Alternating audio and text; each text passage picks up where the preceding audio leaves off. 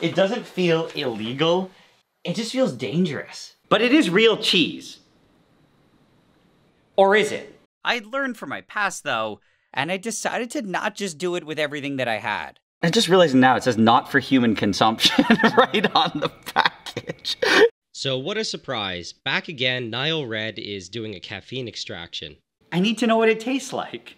And the diamond gas started flooding into the bottle. It seems logical to just pour it in a toilet. That one exploded from an accidental lithium fire. that was way worse than I thought.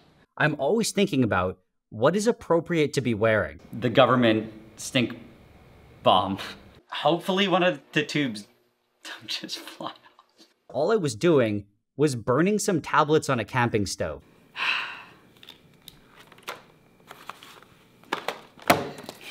Tastes, um, exactly like soda water. But sometimes you need to have other people around you. Just like a regular apple. And some of my favorites have been things like putrescine and cadaverine. Gloves, googles, and lab coat are absolutely Googles. mandatory. I had my grandmother put together a recipe. Where one is table salt and 10 is sarin nerve gas, I'd probably say it's around a 5. And I just started blasting it. We also have to store this bathroom smell somewhere. It would probably mean that the entire room was on fire. I understand.